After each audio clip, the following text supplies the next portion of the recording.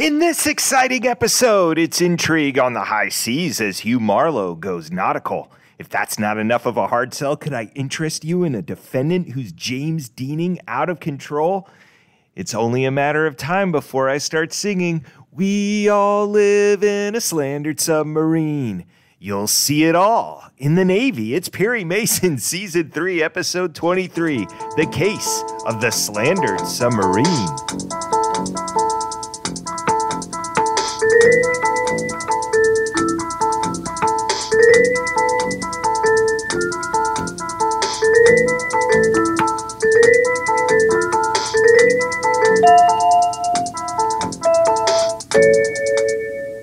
Welcome to the Perry Pod.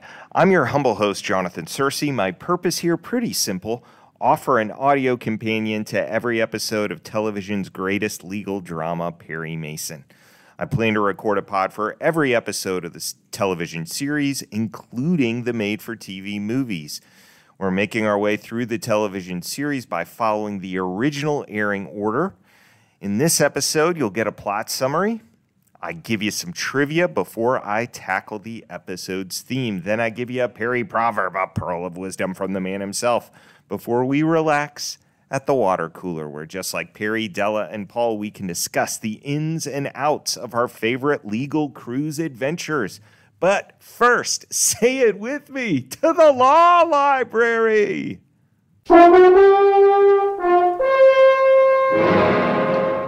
Each episode in the Law Library, I tackle some legal conundrum raised by the episode in question so that we can have fresh insight for future cases. In this trip to the Law Library, we investigate the conundrum of how to sue the U.S. Navy. Mr. Mason, I understand that you're the only man in California with the necessary qualifications for the legal action that I have in mind. What legal action, Mr. Belden? To institute a suit against the United States Navy. Tell us why you're skeptical, Perry. Well, common law holds that a government body is immune to suit, providing its activities remain within the strict purviews of governmental affairs. Perry's referring to what's called sovereign immunity, a doctrine that says the government can't be sued without its permission. My question is this true?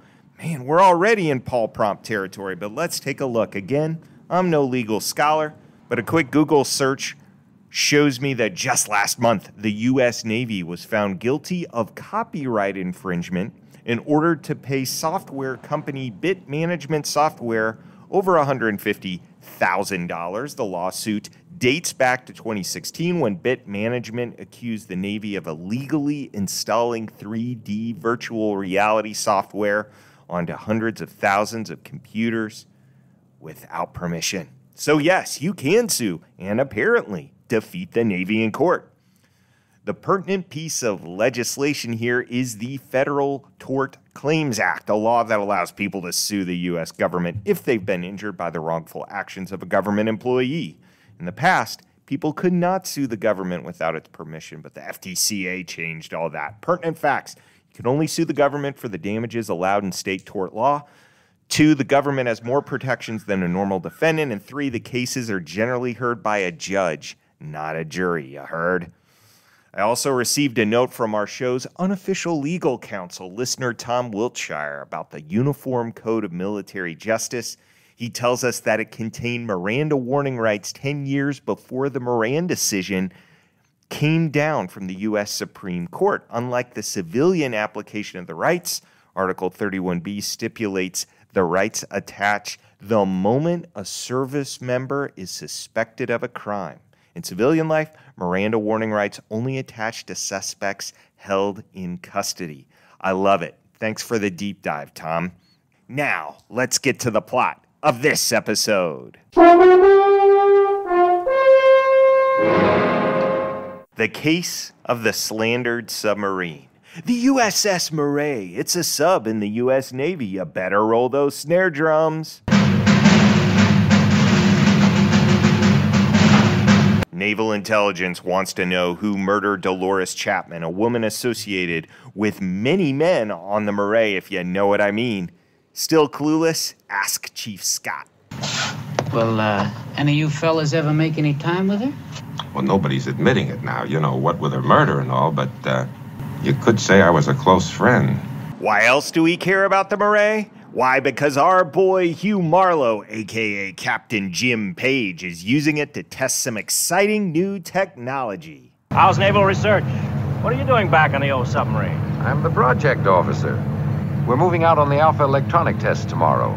Apparently, a lot of money rests on getting this government contract, but don't try to buy off Captain Jim, especially when you're sporting a tube like the one Gordon Russell's got on. I see you, Aaron Hubble. Now, look, Commander. I've spent a lot of money in the development of this device, and I'm prepared to spend more. Russell, you know better than try to buy a favorable report. Also, it appears Captain Jim's wife may be a mole. Apparently, one of the companies trying to get the Navy contract is now owned by Captain Jim's papa in law. Intrigue! Why didn't you tell me? You know I'm testing their equipment. The Navy could take a dim view of a contract awarded on my recommendation to my father in law. Oh, Alpha Electronics wasn't purchased with the intention of trading on our relationship. It happens to be the hub of a projected $300 million enterprise. Where does father in law Belden head for redress against his obstinate son in law? Perry's, of course. We documented that request in our law library visit. Well, the legal mystery plus a hefty retainer, quite enough to get Paul and Perry on the case. Meanwhile, on the sub, mystery. We get slivers of glass and some shoes that point to Dolores Chapman's murderer. And then we get another murder. Most foul, a screwdriver to the heart of Captain Jim. Hugh Marlowe, no! We're all ready, sir.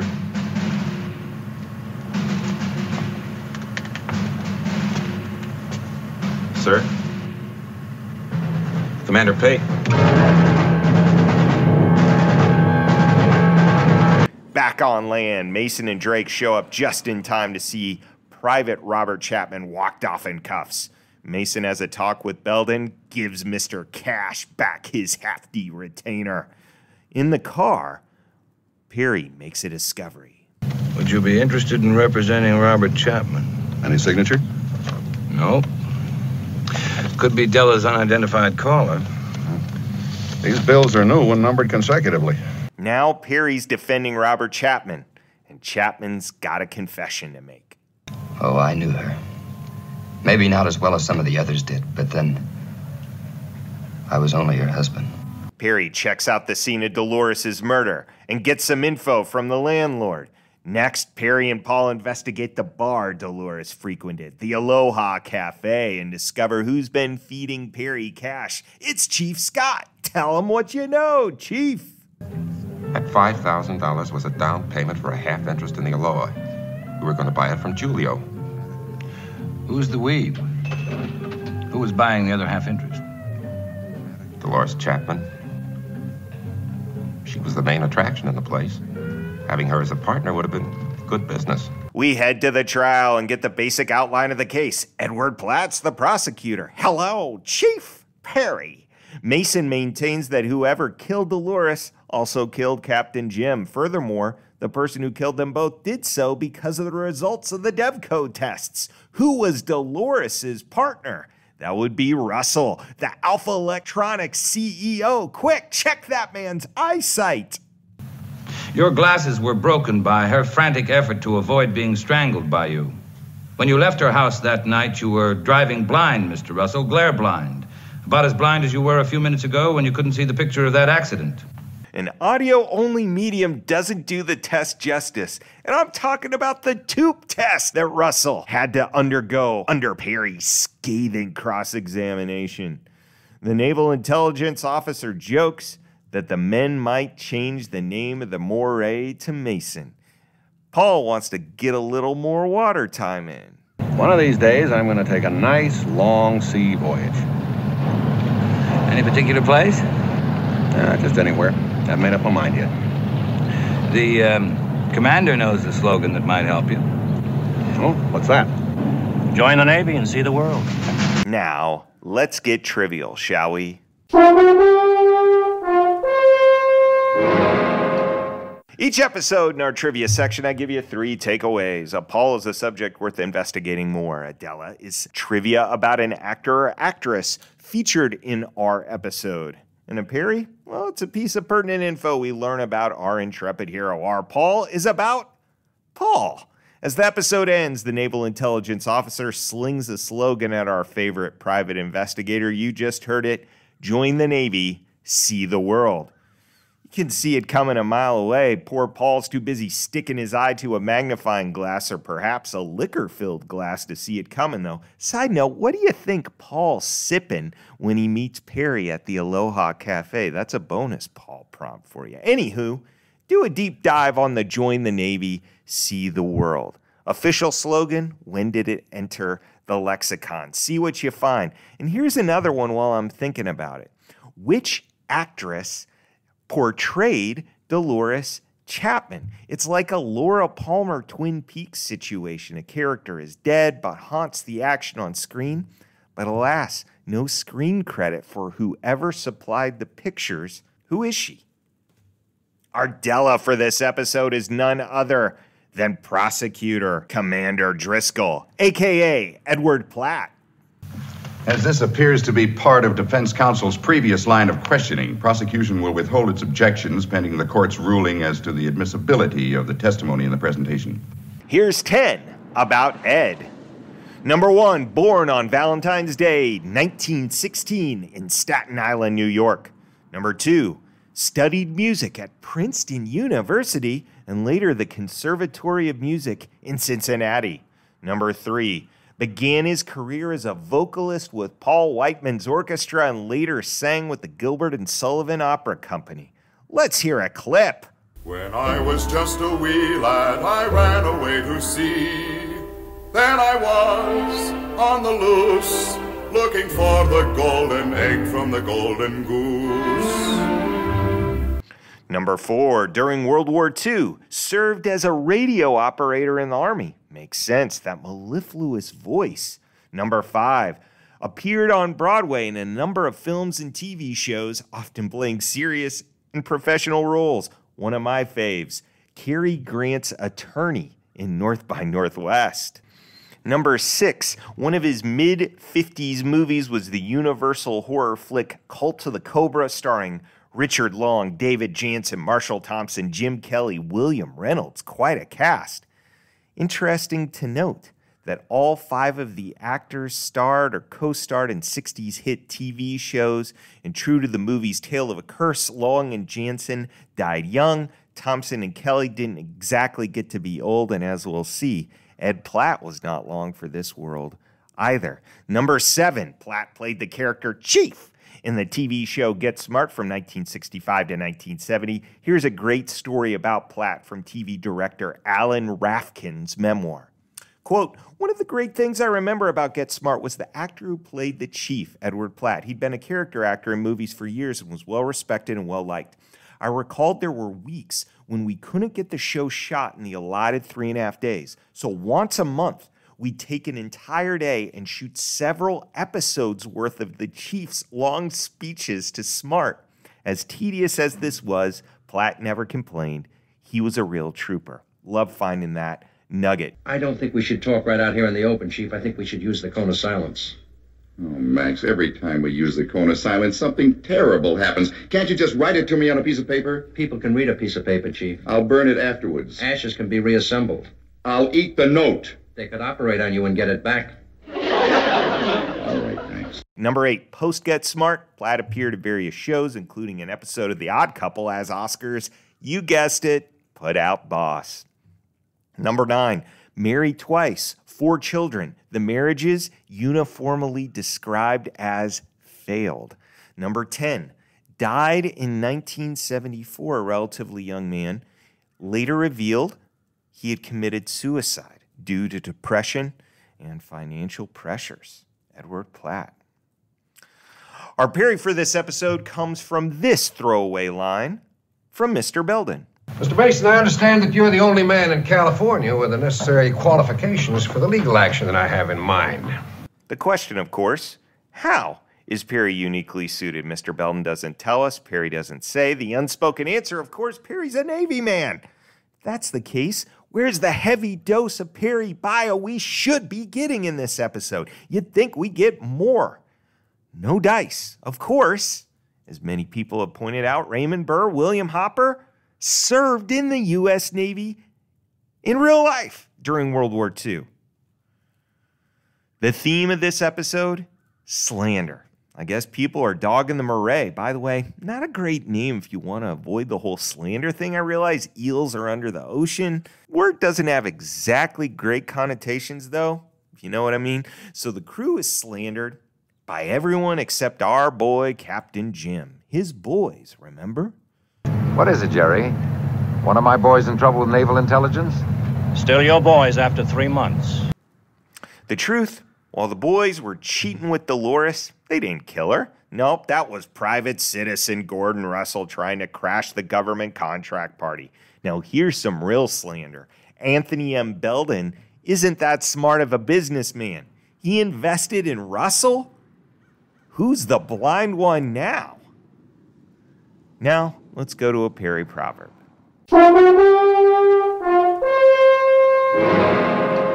Speaking of Anthony Belden, let's revisit that early exchange where Belden consults our hero. Della was a flutter at Belden's cash. Mason, not so easily impressed. Give it to him, Barry. Aren't you interested in my fee? Uh, Mr. Belden, I suppose you're accustomed to owning what you pay for.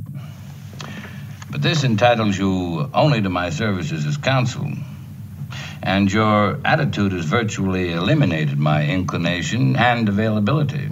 That's right. You don't threaten Mason, Bud. He's Justice's boy. Plus, he knows a fool and his money are soon parted. Good luck with Alpha Electronics, Mr. B. Now let's take a swig from the water cooler. You know, there is one thing I don't understand. Go on, Paul. Goodness, it's been a while. Let's share some deleted scenes from today's episode. Thanks to Tom Wiltshire for contributing these two. In the courtroom, Maxwell Smart walks in loudly, exclaiming, Chief, Chief! Commander Driscoll looks dismayed and surprised as Smart whispers in his ear. Showing mild irritation, Driscoll says, Oh, all right. Smart takes off his shoe, turns to Mason, saying, It's for you, Mr. Mason. Your secretary calling. Number two, when Mason has Russell on the stand for a slideshow, he puts up a pic of Dolores Chapman and asks Russell to describe the Alpha Electronics device. Sturdy legs, holds his hand up, twisting them in the air, large controls. He points out the support arms, the neck are fully extendable. Oh boy. Laughter runs through the courtroom. Aaron Hubble has a coughing fit. A trombone plays him off stage. When last we shared a glass of H2O with one another, we mentioned Alfredo's, a restaurant of some repute, in the case of the madcap Modiste. All right. I'll, I'll see you at Alfredo's at 1. We asked, real or fictitious? Aunt Myra did the research. Alfredo's exists, but not in a way that matches this restaurant. Quote, one is a Mexican restaurant, one has pizza. Both have good reviews, but only from a few reviewers. Thanks for doing the legwork, Aunt My. No one's calling you madcap. Well, we've been off for two months or so, so we've got some listener letters to get to.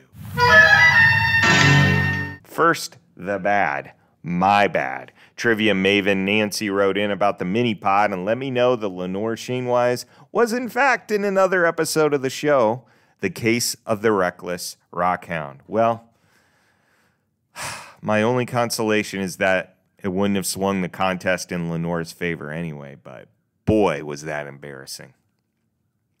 Next, we heard from Kimberly Cohen, who writes in with this intriguing question quote, Hi, maybe you have an answer for us. All the judges on the show have a gavel except one. We refer to him as Judge Pencil.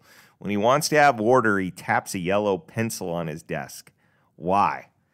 I don't know, but it's such a good question, Kimberly. If some Perry expert knows the answer, let me know. This is the sort of thing I love to hear about. Thanks for writing. Ask me more weird questions about things you've noticed watching Perry over and over again. That delights me to no end. Finally, a nice note from Anita, who sent an email to ask if I was still around last month. Yep.